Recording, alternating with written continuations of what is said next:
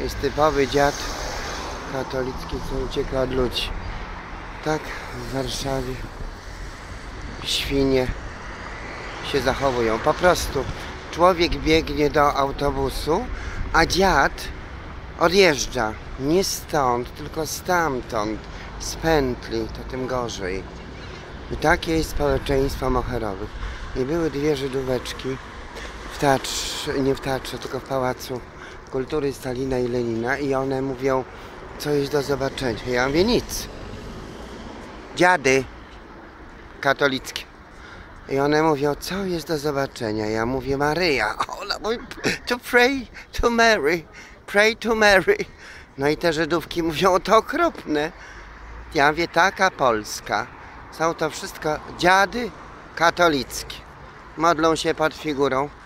Diabła mają za No i te Żydówki, ja mówię, słuchajcie, 31 floor, 31 floor i one tak się podnieciły, od razu El Mercedes spisały, El Mercedes spisały, proszę Pani, El Mercedes będą oglądały. No i 31 floor of the Palace of Culture. 31 floor of the Palace of Culture. Mhm. I to był ten dziad, co jeździ 507. I kto mu dał jeździć autobusem 507? Chudy dziad jeszcze się oglądał tutaj. Się oglądał. Ludzie nie mają wstydu, że wiesz, że potem jeszcze ktoś go zaatakuje, bo tak. Ludziom nie podobają się tacy, którzy pracują niczym żebracy, bo tak, pieniądze dostaje, z pracy nie wywiązuje się swej, no tak, jak ciepłą posadkę ma. To tak samo jak w tej informacji turystycznej w Pałacu Kultury Stalina i Lenina. Proszę Państwa, siedzi babka i wydzwania na koszt państwa, bo ma telefon. No to jeszcze te stare telefony 022. Dzwoni,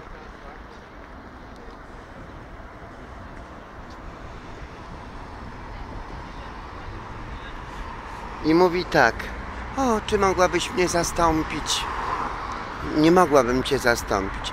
Czy mogłabyś mnie zastąpić? Nie mogłabym cię zastąpić. Czy mogłabyś mnie zastąpić? Nie mogłabym cię zastąpić. No i ma pieniądze od państwa, ciepłą posadkę, no w tej informacji turystycznej. I dziadówce źle. No to przepraszam bardzo. Ludzie wcale nie mają pracy. Ludzie chcą mieć pracę.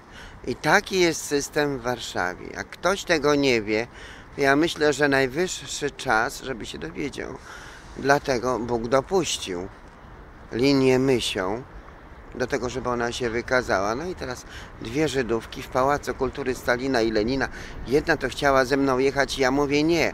Wy macie jechać na 31 piętro Pałacu Kultury Stalina i Lenina. Ale one pytały się, co w Warszawie, co tu... Wa...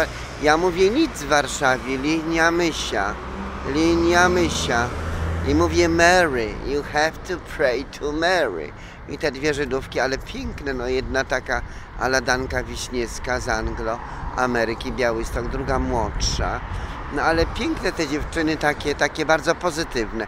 I one są już na 31 piętrze, bo ja je wysłałam na 31 piętro.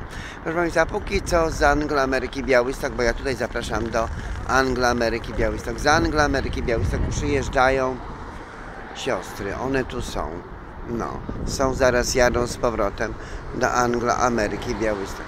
I się cieszą, że mogą ten czas, który raportują, podają do statystyk, raportują ten czas, że mogą głosić Ewangelię tutaj gdy jest linia Mysia, Moherowy, Warszawa.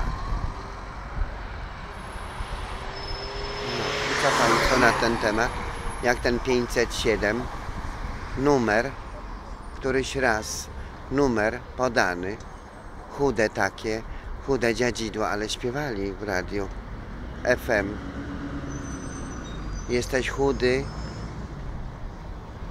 nieszczęśliwy, kierowca autobusu 507. 7 w Warszawie. Ale tak to jest. Jedna babka to mi opowiadała, że była zima, to ją za nogę ciągnął. Ja mówię, wie pani co, to jeszcze bardzo dobrze, że była zima, bo, bo jeszcze panią po śniegu ciągnął. Turlał, nie? A ona mówi, przecież mógłby doprowadzić do śmierci, żeby, ja wiem, żeby się nie zorientował, bo ludzie się nie mogą zorientować też.